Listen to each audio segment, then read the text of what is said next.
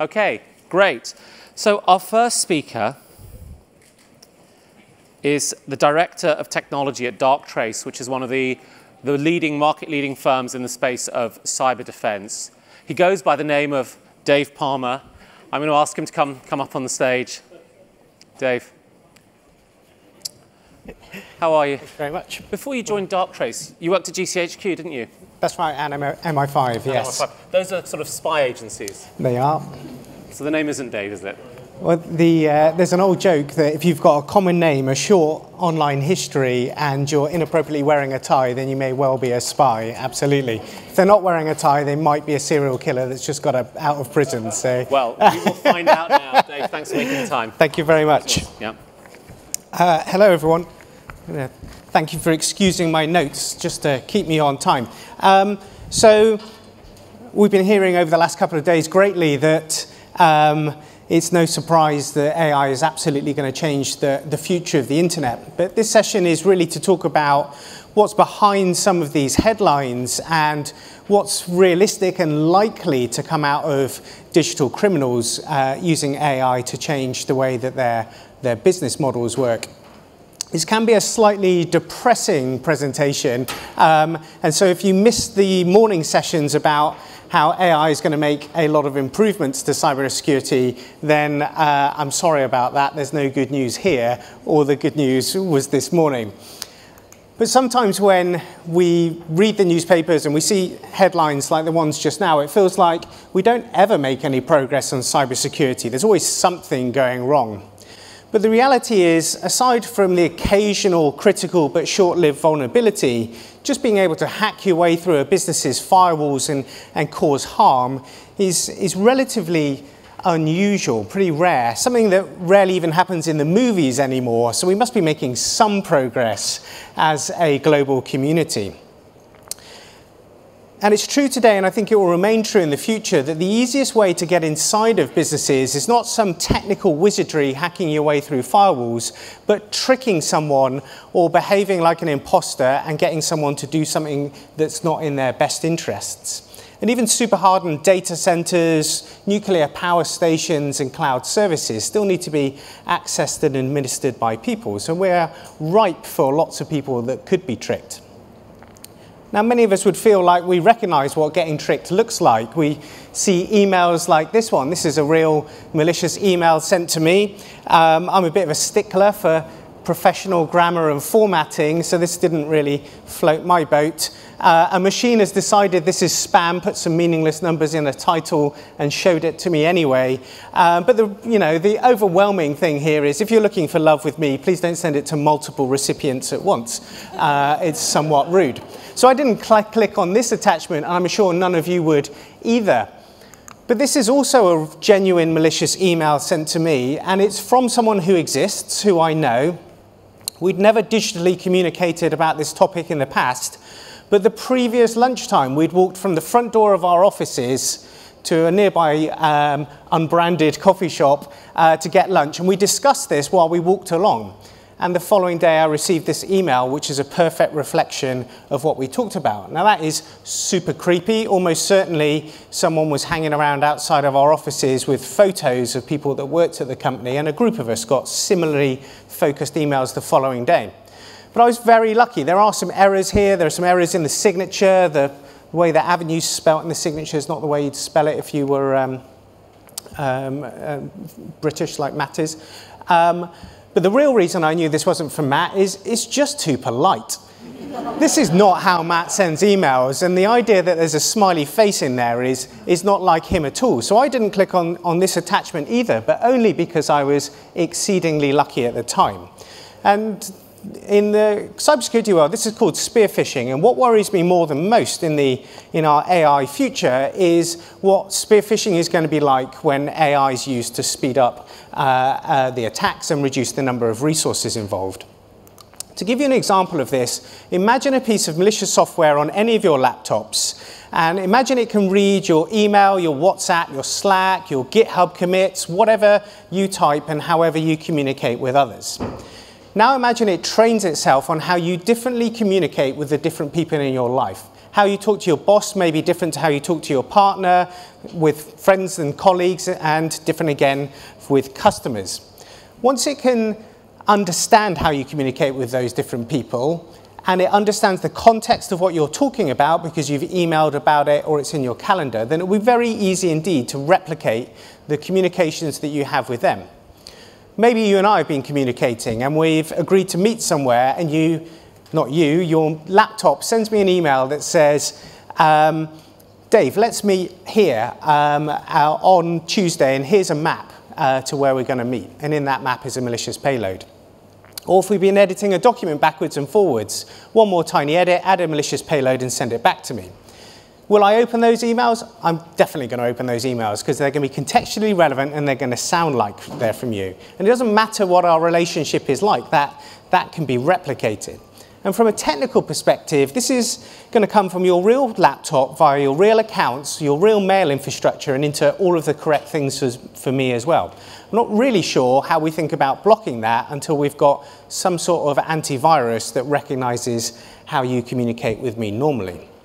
And the reason why this will be interesting to criminals is it's very low resource intensive and it could explode across supply chains. If you want to go after a particular part of a bank, or you, even more likely initially, I think, you want to go after a specific celebrity, then start on the edge of their social graph and work your way in. And it might feel like it might be far away, but I think it's reasonably imminent as an idea, and I'll show you why.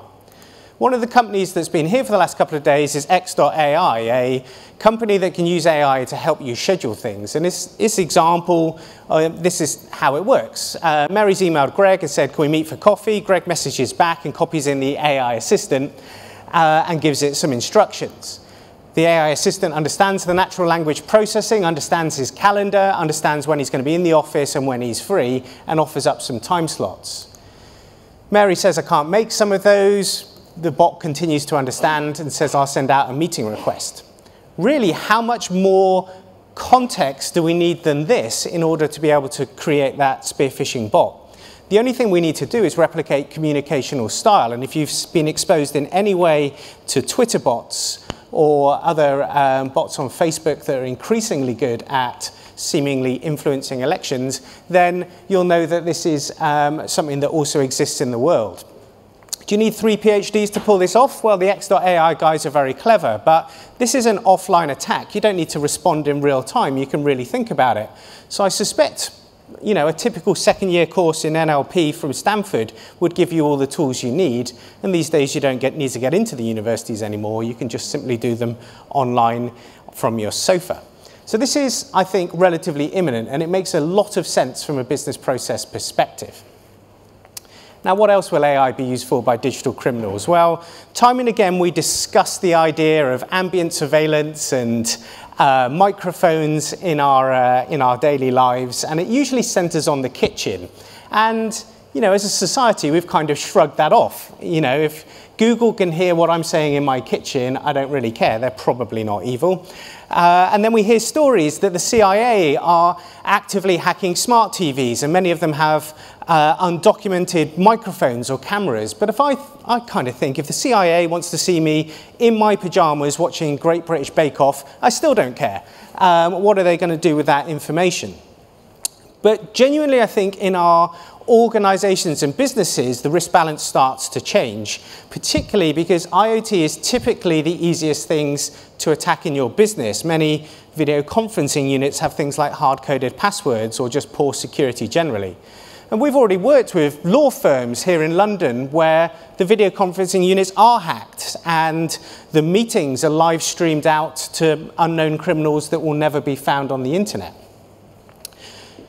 Could you make money from that? I think absolutely you could. You can um, maybe find out about undisclosed M&A. You could um, sell secrets to plaintiffs or potentially extort people that have revealed secrets that they didn't realize you were listening to. So I think you can make money from it, and it's a reasonably good criminal activity to consider. But the thing is, I don't think criminals want to go to more meetings. I think if you want to do widespread harm to a large number of people and you like meetings, you'll probably join the British government. So we need AI here as well.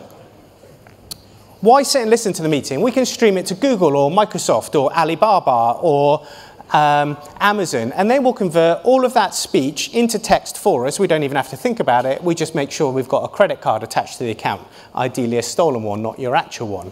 Once you've got the text, convert, uh, once you've converted the, the discussions into text, then you could search through them manually for things that you're interested in, but again, create an AI model of the things that you're semantically and contextually interested in and have it go look for you. If you're really lazy, you can get it to self-correlate and see if the M&A that's being discussed has already been declared or not. So all you're picking up is the golden nuggets. And frankly, you could start hammering IoT left, right, and center. You can launch indiscriminate campaigns all over the world because it doesn't cost you anything apart from the, the few dollars on a uh, few cents in a dollar that you'll need for um, processing it in the cloud. In more targeted situations, if you want to be a bit more sneaky, you could even have a local software agent just make sure the right board member's face is present or VIP in the meeting room. Tag it as extra interesting if there are animated emotions in the, in the room. Again, you don't have to write this, you don't have to be an AI wizard. Just take what we're uh, building for, for good and for positive reasons in our economy and start abusing them. So I think this, although ambient surveillance has been the stuff of spies and science fiction and is being absolutely neglected by criminals at scale, I think it will come back at scale because it's going to be cheap and easy to do. And frankly, hacking this sort of stuff rather than trying to hack your iPhone or your Windows 10 laptop is far easier and easy to scale.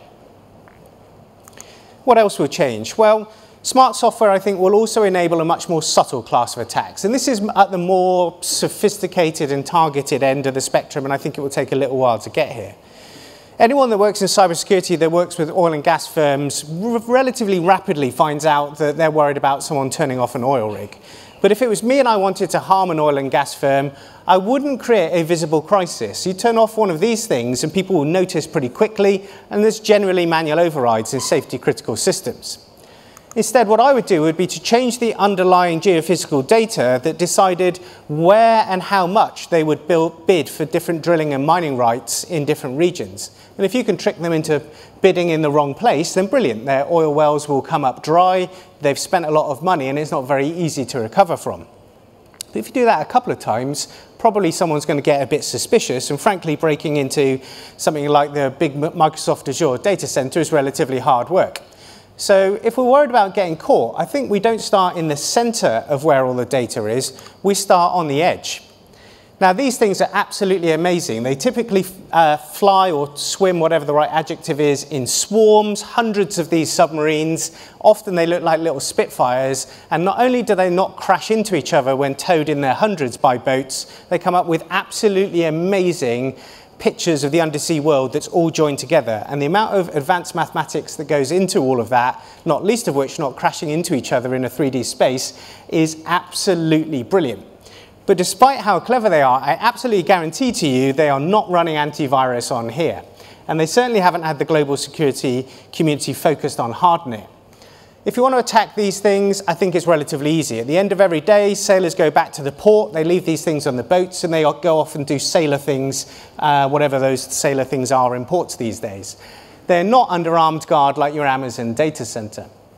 So I would go after these things. Why does it need AI? Well, if you want contextual, long-term, near real-time data processing and modification, I don't think you're going to be able to pull that off with linear programming. I think you're going to want something more advanced than statistical to pull it off. Now, putting all these things together, we have a great, relatively truncated roadmap for um, criminal, uh, criminal gangs. And things are looking pretty sweet for hackers with mathematical textbooks. So they've got all of these choices as we've been through, and frankly, I've got a lot of other ideas as well. So if there's any investors in the room who want to go after a high growth business, I've got some ideas. Catch me away from the cameras. But the main thing that I want to get across is there is a lot of belief and optimism that we're coming to the end of cybersecurity and AI will let us catapult ourselves forwards and not have to worry about what criminals are doing in future. And really what I want to get across to you is there are just as many opportunities for the criminals and the digital arms race continues. With that, thank you very much.